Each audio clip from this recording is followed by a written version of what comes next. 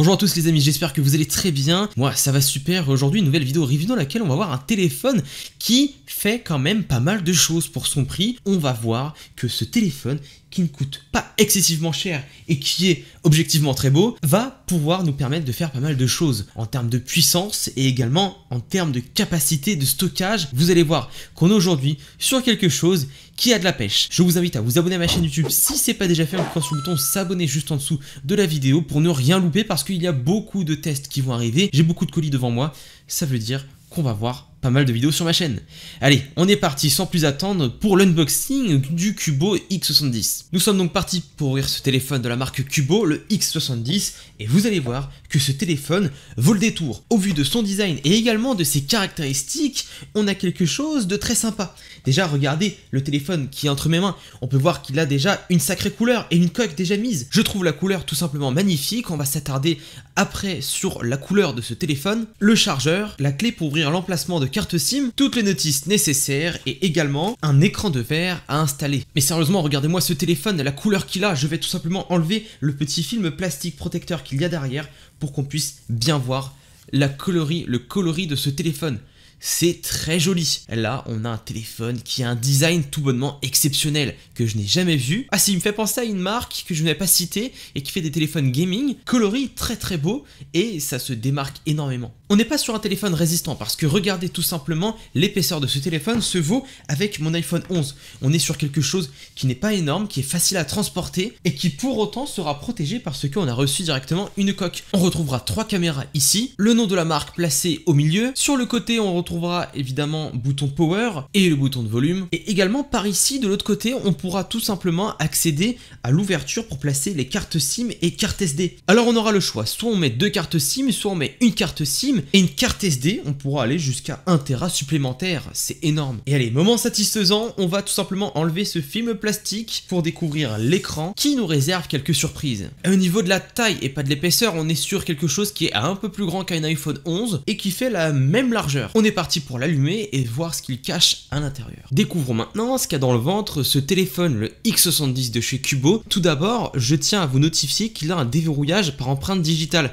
Alors, on va tester la réactivité et évidemment, il n'y a aucun doute, c'est réactif. Donc c'est un bon point. Et en plus de cela, le bouton est quand même petit. Alors, Félicitations à Kubo qui est arrivé à faire un bouton de déverrouillage par empreinte digitale aussi petit. Sinon on est sous Android 13 évidemment comme on connaît, on a un mode jeu, un gestionnaire, mais surtout ce qui va être intéressant c'est de regarder un petit peu euh, tous les composants du téléphone, à savoir déjà qu'en termes de mémoire on aura 12 Go de RAM de base et on pourra en ajouter 12 euh, supplémentaires avec les RAM virtuelles. Ce que j'ai fait, en stockage on a jusqu'à 256 Go de stockage interne dans le téléphone, Niveau batterie, on est sur du 5200 mAh, je suis actuellement à 30%, mais sachez que ça reste dans la moyenne. Au niveau de l'écran, on a quelque chose qui est excellent, pourquoi? Parce qu'on a la possibilité d'ajouter le 120 Hz. Alors, je vous laisse constater la différence, c'est quand même flagrant, vous pouvez voir sur les images, voilà, ça va être excellent pour tester les jeux. Et maintenant nous allons tester l'écran parce qu'on a un écran de 6,58 pouces, donc ça fait du 2000 408 par 1080 pixels. Autrement dit, on n'est pas à plaindre pour la qualité d'écran et on va également ajouter la qualité maximale qu'on puisse ajouter sur YouTube. Là, on sera sur de la 1440p en 60 Hz. Eh bien écoutez, on a quelque chose qui tient la route, ça fait plaisir, on a quelque chose de bien détaillé comme on aime avec des couleurs vives. En même temps, la vidéo est sujet à des couleurs vives. Mais ce que je veux dire, c'est que le téléphone retranscrit très bien les couleurs. Des couleurs très vives, un bon détail. Et puis avec l'écran, je me verrais bien regarder des vidéos parce que regardez bien, il n'y a pas beaucoup de bords. Autrement dit, c'est génial pour pouvoir regarder des vidéos. Un peu étrange cet oiseau. Et eh bien maintenant, je pense que vous me connaissez. On va évidemment écouter une vidéo d'une musique qu'on connaît tous pour en juger la qualité des haut-parleurs.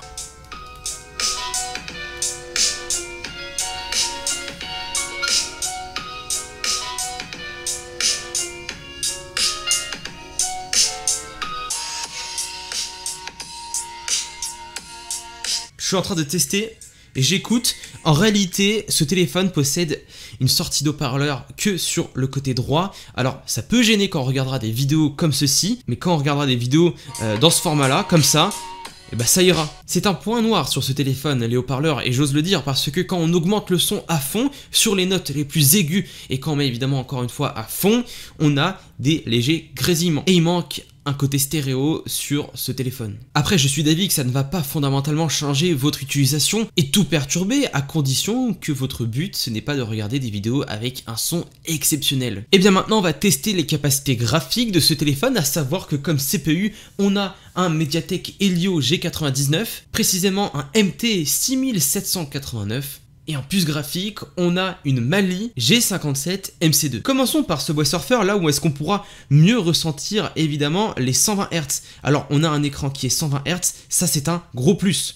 C'est pas souvent qu'on a des écrans 120 Hz ou du moins plus de 60 Hz. Là ça fait plaisir de voir une aussi bonne fluidité. Vous pouvez voir que, enfin moi en tout cas je le vois, il y a une réelle différence. Là on a quelque chose qui est excellent. Voilà un bel écran et une bonne fluidité, on se rattrape sur ce point-là. Et on se retrouve maintenant sur PUBG Mobile où est-ce qu'on va pouvoir tester la capacité graphique avec le maximum de contraintes entre guillemets parce que là c'est pas un jeu préchargé, c'est quelque chose qui demande des ressources, beaucoup plus que Subway Surfer. C'est très concrètement une fois à terre qu'on va pouvoir voir ce que ça donne niveau qualité graphique. On va voir si ça tient la route, on va voir la fluidité le nombre d'FPS qu'on aura. Voilà, c'est précisément à ce moment-là qu'on verra. On a quelque chose qui est fluide et également réactif. C'est-à-dire, voilà, je me déplace et ça tourne directement. Il n'y a pas de bug dans ce sens-là. Et voilà, on a quelque chose de réactif, de précis. Ça fait plaisir entre 50 et 60 FPS. Alors évidemment, on ne pourra pas déplafonner et atteindre 120 FPS constant pour profiter des 120 Hz, mais on a quand même un jeu avec pas mal de lumière, des ombres et euh, une bonne qualité graphique et une bonne fluidité. Alors on peut se dire qu'on pourra faire quelques parties de PUBG mobile sans réellement rentrer dans de la performance gaming. Alors fondamentalement, on pourra jouer tranquillement à pas mal de jeux et ça c'est grâce à ces composants comme j'ai cité dans la vidéo, on aura quelque chose qui pourra faire tourner des jeux. Évidemment, même PUBG Mobile, on a réussi à faire tourner cela. Ça veut dire qu'on est quand même sur quelque chose d'assez puissant pour pouvoir satisfaire la plupart de nos besoins. Et on a quand même bah, jusqu'à 24 gigas de RAM. Alors après, ce ne sont pas des vrais gigas. Enfin, il y en a 12, ce sont des virtuels. Un total de 24 gigas de RAM sur ce téléphone. Alors maintenant, niveau caméra, qu'est-ce que ça donne niveau caméra et qu'est-ce qu'on a? On a une caméra arrière principale de 100 mégapixels. Alors autant vous dire qu'on est pas mal, avec une caméra macro également, celle qu'on verra juste en dessous. Et je vois quand même beaucoup de détails. Alors là je vais prendre une photo de ma petite plante et on va essayer de voir les détails. Couleur, on a quelque chose qui est excellent. Alors j'en reprends une parce qu'il y a vraiment un mode 100 mégapixels. Alors hop, c'est parti. Là, j'ai pris avec 100 mégapixels et je vous affiche maintenant la photo à l'écran. Vous pouvez voir que c'est assez impressionnant au niveau des détails. On a quelque chose qui est franchement bien marqué et qui nous permettra de faire des belles photos. On peut voir qu'il y a une distinction entre le premier plan et l'arrière-plan, que la colorimétrie est bonne, que ce n'est pas dénaturé. On a quelque chose de vivant et c'est ce que j'aime. Niveau mise au point, ça se fait automatiquement seul, mais sinon je peux intervenir en appuyant. C'est le petit bruit que vous entendez et sinon ça se fait assez vite. On a quelque chose qui fait la mise au point vite, rapidement, seul et très bien. Et on a également un mode macro, je vous mets une photo tout de suite à l'écran et je fais actuellement une vidéo en 2K, 30 FPS. On a quelque chose qui est quand même très détaillé et une vidéo qui est plutôt fluide pour de la 2K en 30 FPS. On a quelque chose qui est vraiment joli. Et ce que j'adore, c'est la colorimétrie. Regardez le vert, comment il est bien prononcé et bien vif, bien vivant. Ça fait plaisir. Voilà, on a quelque chose de bien détaillé. Et si je me filme, alors attention, là, je me filme actuellement avec la caméra arrière. Ne vous trompez pas.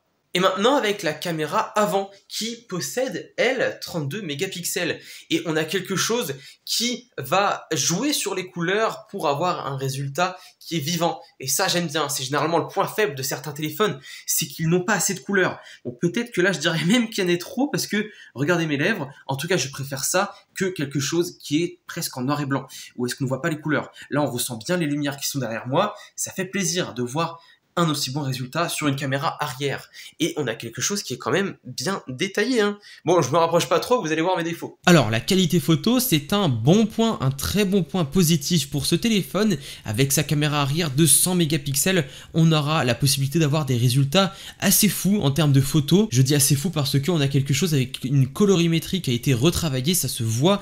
On a des couleurs vives, vivantes. On a quelque chose qui est très bien détaillé et ça fait très plaisir. Malheureusement, le mode macro un petit peu en colorimétrie. Et la caméra avant, on est très bien. On a quelque chose qui est détaillé, coloré, voilà, c'est vivant et on aime. Alors que dire de ce téléphone, le Cubo X70, les points positifs, les points négatifs, on va commencer par le mauvais entre guillemets, il n'y a pas grand chose à redire, mis à part le haut-parleur qui ne m'a pas satisfait parce qu'on n'est pas sur du stéréo, il n'y a qu'une sortie et c'est dommage parce que quand on regardera des vidéos comme ceci, ça va peut-être perturber un petit peu notre utilisation et le son c'est pas le meilleur que j'ai testé. Cependant il se rattrape sur pas mal de points, sur les 24 Go de RAM, sur également la fluidité de l'écran en 120 Hz et également la puissance qu'on pourra avoir pour faire tourner des jeux ou des applications un peu plus gourmandes que la moyenne. Et sans oublier l'appareil photo qui est une réussite. Maintenant, ce que je vous invite à faire, c'est aller voir son prix.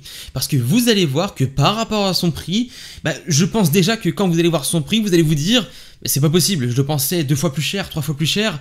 Voilà, moi ça m'a assez impressionné quand j'ai vu son prix. Je vous invite à aller voir le lien du produit qui se trouve en description, à aller dessus et aller voir son prix.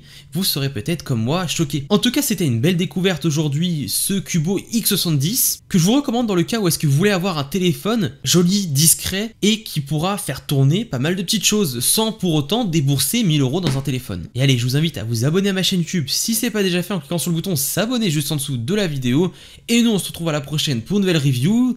C'était JX.